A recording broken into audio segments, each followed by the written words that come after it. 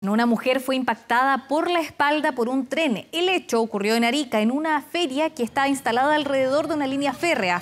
Desde la municipalidad indican que han intentado trasladar a los comerciantes, pero la tarea ha sido complicada.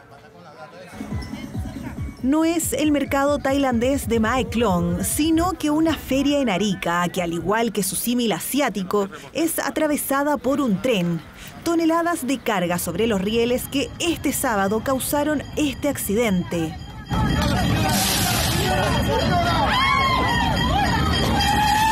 A las nueve y media empezó a pasar carabinero y venía el tren.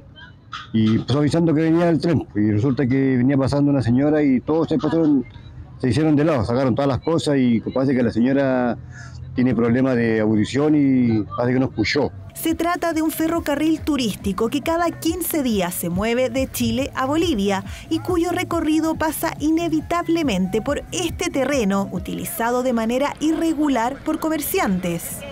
Hace más de 20 años que el tren y la feria coexisten en el mismo espacio. Distintas autoridades han intentado relocalizar a quienes trabajan en el lugar, pero ha sido una tarea compleja. La responsabilidad acá es compartida de todos como municipalidad, asumimos parte también de esta responsabilidad en una feria que nosotros sacamos hace un tiempo atrás, pero cuando la sacamos llegan otras personas y se instalan en este espacio. Considerando esto, tanto EFE como Carabineros han dispuesto equipos que avisan cada cierto tiempo cuando el ferrocarril está por pasar. Cuando su llegada es inminente, utilizan incluso megáfonos. Vienen los carabineros primero, las motos, avisando que viene el tren. Pero no, nunca no ha pasado nada así como lo que pasó ayer. Las personas ya estamos todas acostumbradas a trabajar acá y temor no.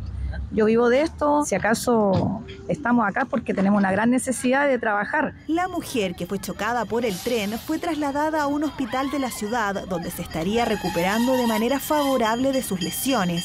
Un episodio que afortunadamente no pasó a mayores, pero que de nuevo preocupa y pone en alerta a las autoridades ariqueñas encargadas de la seguridad de esta zona.